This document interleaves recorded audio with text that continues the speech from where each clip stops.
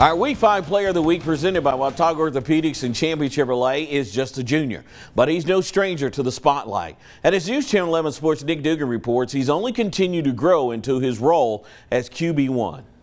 Last Friday night, Unicoi County delivered a balanced performance on the road to put away West Greene 47-18.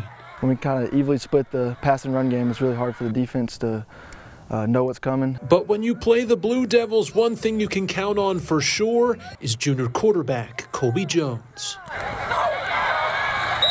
You get in a game and he just, uh, you know, just kind of has a knack for it. The it being racking up yards and touchdowns. Jones completed 18 of 26 passes for 269 yards and four total scores against the Buffs, two through the air and two on the ground. Kind of just been able to get out of the pocket and uh, make things happen when um, things collapsed a little bit. That athleticism has always been there, but this season Jones has put a premium on assessing his opponent while under center. Being able to read the defense a little bit better.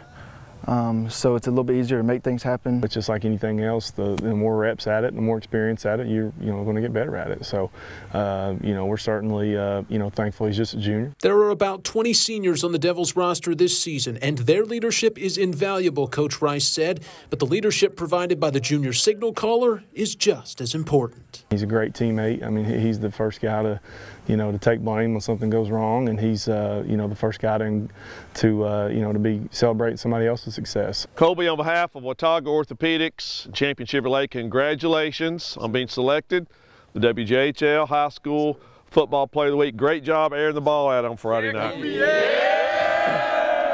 In Erwin, Nick Dugan, News Channel 11 Sports.